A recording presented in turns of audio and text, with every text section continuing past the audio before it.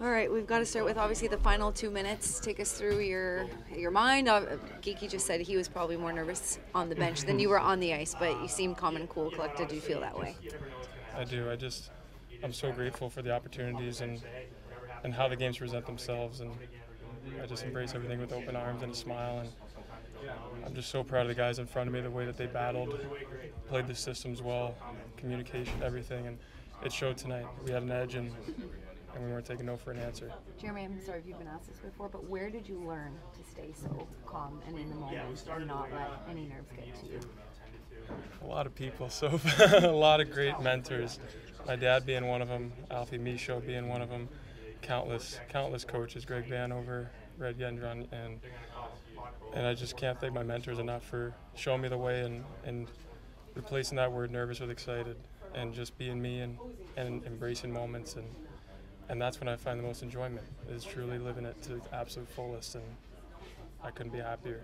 Last one for me. Do you realize the calming effect you have on your players? I mean, I say it all the time, but when you know they can't clear a puck, but they know you're in net, they credit you for just keeping them in it. Do you realize you have that effect on them?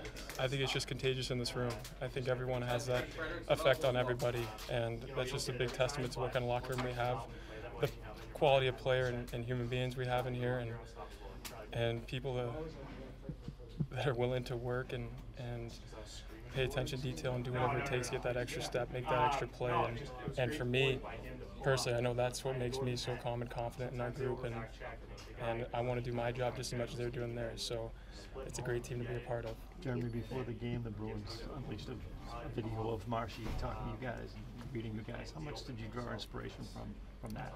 His, his jersey's still hanging right there. And it will never come down because he's going to be back in it very soon. So just explains what kind of human being he is, what kind of leader he is to our group. Even when he's not playing, he's here warming up with us, doing whatever he needs to do to be around, just as if he were playing. And talk about a calm and cool, collected human. It's Marshy, and he knows exactly what to say at the right times. And just couldn't be happier being a part of this group and, and having a leader like him.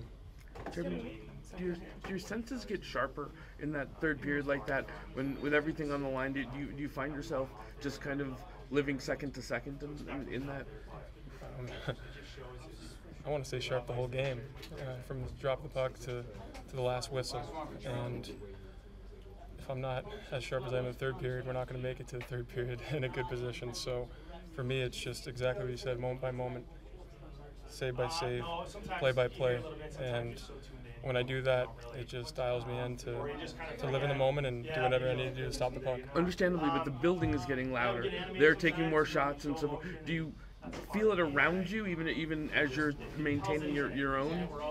I love energy. I can feel energy, and to be honest, the only thing that matters to me are the guys in black and gold out there. And again, when I focus in on the simple things like that, I, I couldn't be more dialed in, and I couldn't. I, I would run through a wall for these guys. I'd do anything for these guys to make a save. So that's all I'm caring about out there, and it, uh, it's really special to get wins like that. What was your awareness like in that final minute, especially on that Reinhart attempt the? They're they're a high quality team. They have high quality special teams. So I just wanted to make sure I was in the position to make the first save and also aware to make that second save for the open guys. So again, the guys in front of me did such a good job blocking seam passes, making sure I saw the first shot, and and I think they did a really good job structurally to allow me to make saves.